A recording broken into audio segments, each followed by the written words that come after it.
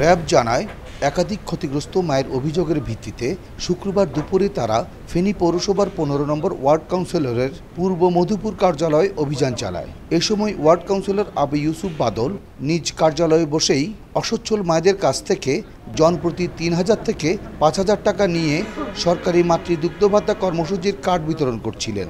এই কর্মসূচির আওতায় দরিদ্র কর্মজীবী গর্ভবতী মায়েদের সরকার নির্ধারিত মাসিক আটশো টাকা ভাতা প্রদানের কার্ডের জন্য দশ টাকার ব্যাংক হিসাব খুলতে হয়। যার কাছে যেমন পাচ্ছে টাকা হাতিয়ে নিচ্ছে। এই অভিযোগের ভিত্তিতে আমরা স্পটে যাই এবং এর সত্যতা সম্পর্কে নিশ্চিত হই এমনকি আমরা তাকে হাতে নাতে আটক করি। টাকা সহ তবে কাউন্সিলর ও পৌর আওয়ামী লীগের স্থানীয় ওয়ার্ডের সাধারণ সম্পাদক আবু ইউসুফ বাদল এই টাকা নেয়াকে স্বাভাবিক মনে করেন।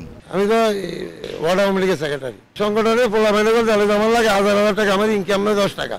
এই জন্য নিয়ে যাই আমি সেক্রেটারি হিসাবে। বেশি টাকা নিই না এমন কোনো জানে আমার এই যে পঞ্চাশ হাজার টাকা নিয়েছি বা ইয়া নিয়েছি এই একজন একজন তা না। দুই হাজার এক হাজার এক হাজার দেড় হাজারও আছে।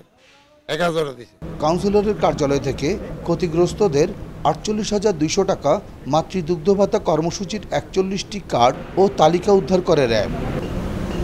বক্তিয়ার মুন্না সময় সংবাদ ফেনী।